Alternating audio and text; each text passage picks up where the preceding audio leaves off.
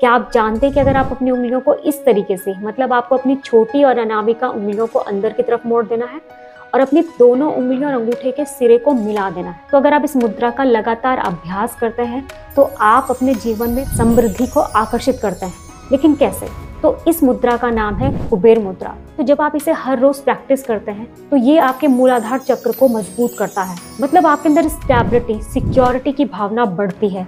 और आपके अंदर से सारा डर गायब हो जाता है। तो जब आपके अंदर ये माइंडसेट डेवलप होता है, तब आपकी एनर्जी एनर्जी ऑफ़ एबेंडेंस मतलब ब्रह्मांड की समृद्धि, प्रचुरता वाली एनर्जी के साथ जुड़ जाते हैं और अपने जीवन में ये सब आकर्षित करने लगते हैं। इसलिए दिन भर में किसी भी समय आप 10 से 15 मिनट सुखासन में बैठ जाइए।